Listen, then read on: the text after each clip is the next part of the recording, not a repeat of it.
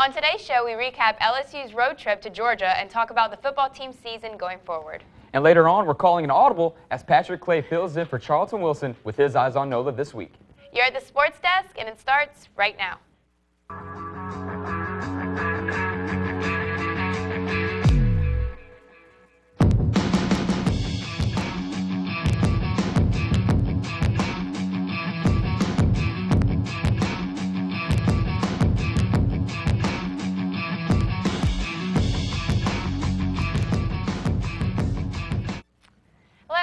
To the sports desk. I'm Rachel Richlinski. And I'm Morgan Beard. And now, Morgan, let's get right to it. There was a big top 10 SEC match this weekend. You know, LSU and Georgia. Just yeah, tell me a little about I don't it. know if uh, anyone out there has heard about that, but that's right, Rachel. LSU came into Saturday's game with a perfect 4-0 record, fresh off their first SEC win against Auburn the week prior. But the Tigers had to travel to Athens to face the number 9 ranked Georgia Bulldogs for their first road test of the year.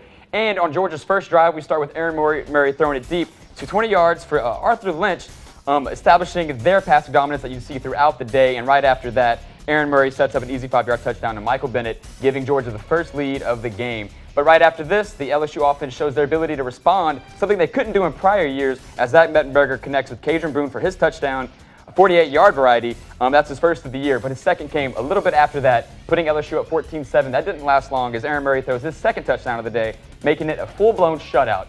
But now we fast forward to the fourth quarter. LSU down three with four to go. Jeremy Hill runs it in for the seven-yard touchdown, his first and only of the game.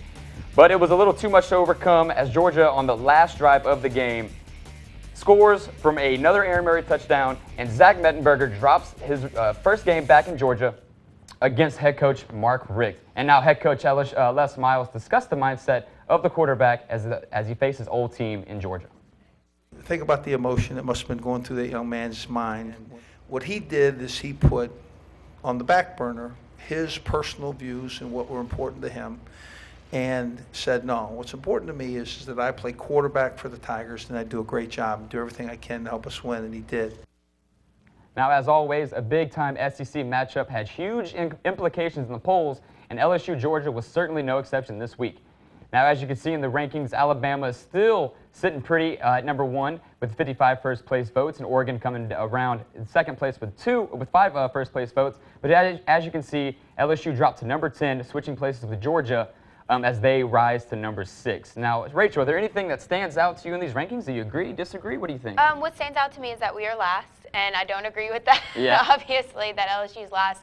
Um, I think Georgia did really well against LSU Saturday night, but I don't believe that that should have pushed them Yeah. that far high. That's just my personal opinion. Just because the game was so close, I don't think it was worth them going so and we'll see exactly how the rest of the season shapes up. The Tigers have a lot of time to, you know, rise up in the rankings. But Rachel, Alrighty, well, on to soccer. For the first time in two weeks, LSU soccer played home last Friday for the SEC home opener against uh, the Tennessee Lady Volunteers. So we have uh, Emma Fletcher scored a goal with a 25-yard free kick in the 31st minute, giving the Tigers a 1-0 lead going into the half. Tennessee scored in the second half, tying the game 1-1. The Tigers ended a double overtime with no additional goals by either team. In total, each team attempted 18 shots during the match, with LSU leading in shots on goal. This is what head coach Brian Lee had to say about the game. I thought it was a good college soccer game, a typical SEC, a little bit run and gun. Uh, against a good team, I thought we played great, 10 shots on goal. You can't ask for much more than that and uh, created some really good chances. I like the way we're playing, and uh, we keep doing that with that kind of effort. It's going to be a great The Tigers went on to play Mississippi State on Sunday, ending in a 3 2 double overtime win. This was the 12th game in a winning streak against Mississippi State since 2001. All right, thank you, Rachel. And after the first break, we'll come back with Sports Showtime producer Patrick Clay with his eyes on NOLA as we take a look at the Pelicans and some Saints action. Don't want to miss it.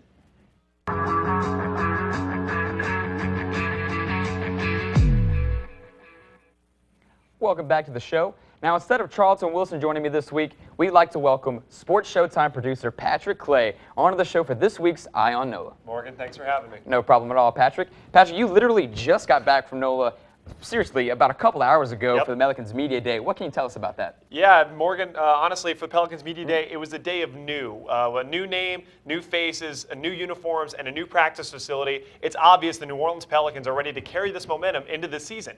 And speaking of new faces, I got to talk to one of the Pelicans' newest additions from the offseason, seven foot center Greg Stiemsma, to get his thoughts about his new team and the new season.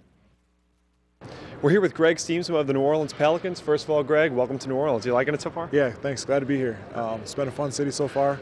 Got used to this heat a little bit, but uh, but loving it so far. It's definitely different than up north, huh? Yeah, definitely. Uh, hoping this heard humidity. This humidity leaves a little bit, but we'll see. Well, uh, let's get right to it. Uh, you guys, there's a big center battle going into training camp that's starting soon, and uh, it's between you, Jason, uh, Jeff, even Anthony Davis. Just talk about that battle that you guys are going to be facing this season. Uh, yeah, we're looking forward to it. Um, you know, I think competition brings the best out of everybody, so we're, we're definitely gonna take it at each other and uh, you know try and get better every day.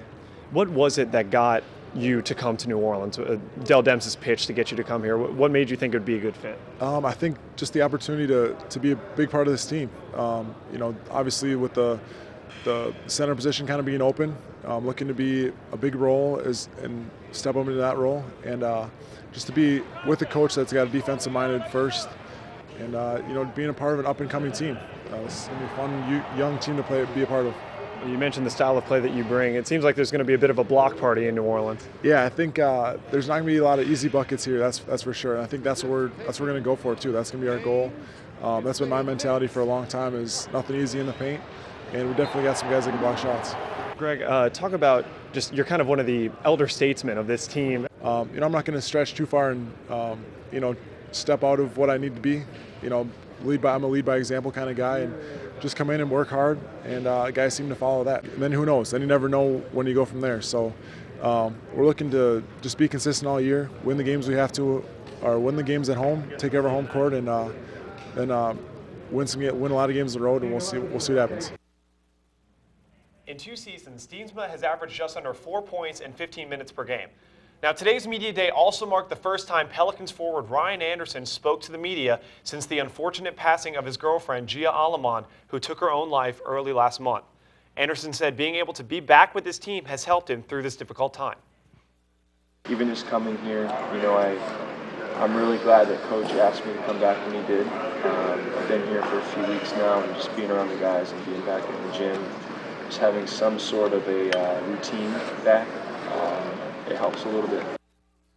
Now, obviously, our thoughts and condolences are with Ryan and the Allemand family at this time. Tough situation. I think you said it best. There's not really much else you can add to the situation other than we hope Ryan Anderson can get through it and uh, move forward with the season. But the show must go on, and since you're here talking about New Orleans, there's a big Monday night football game going on against the Dolphins.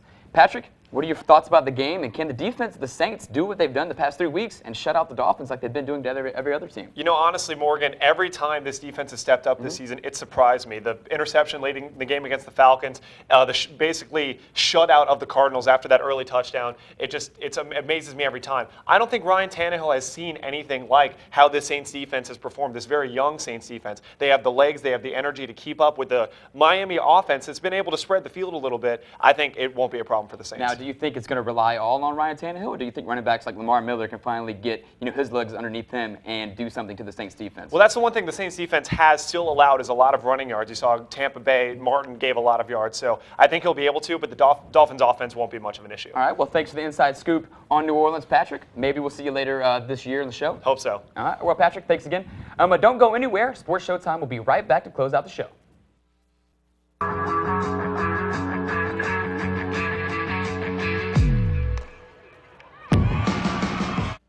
Welcome back to the Sports Desk. Now, in other sports, kind of, the Los Angeles Clippers revealed today a set of new alternate uniforms for the upcoming season. Can we get a picture of that up there? There they are, the bright baby blue. Oh, I do like this. With the sleeves. Rachel, what do you think of those sleeves, first of all? I like it. I mean, something different. You know, it might be a little sweaty though. Exactly. But I know before air, before we started airing today, seeing that picture got you rolling on uh, what you think the worst uniforms of all time are, and we compiled her top three, starting with the Boston Celtics. Is that right, Rachel? It is right. That is right, Morgan. You know, I'm really not into the whole green and white thing, and- but it's really not even the color that throws me off. The color's interesting. I like the difference, but like it reminds me of Lucky Charms, like the big clover. You don't like. Lucky Charms? I mean, does that not? No. Okay. mean, I- okay, I mean, you know, to each his own. I know a lot of people would, you know, disagree with that, but it's okay. now it's time for number two. It's another questionable call, but the Texas Longhorns. Now, you're not liking the burnt orange of Yeah, Texas that Longhorns? now the problem here is the color. I don't have a problem with their logo, but the color, like why burnt orange? Like why not regular orange? I mean, I see what they're trying to do, but I no, it's silly to me. As a resident of Oklahoma, I just got to say Boomer Right. Sooner, by the way. And Rachel, your number one worst all-time uniform, what is that? Uh, Alabama's a Crimson Tide. Of Now that I course, can I mean, agree I don't need to say much about that. It's just awful all the way around. And that's all. Okay, right? Rachel, I'm glad we got that done.